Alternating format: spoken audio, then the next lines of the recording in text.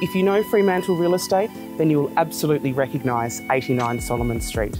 Owned and loved by the same family for generations, it is with great pleasure that we bring it to market for the very first time. The dwelling is solid and unpretentious, built of stone and iron by hand in a time of true craftsmanship and skill. In need of renovation but ripe with possibilities, the home is ready for the new owner and its next chapter. On a generous green title land holding of 569 square metres, the dwelling has features that we all love and expect in a Freo home. A wonderful opportunity awaits here at 89 Solomon Street. Chanel and I look forward to meeting you at our next home open.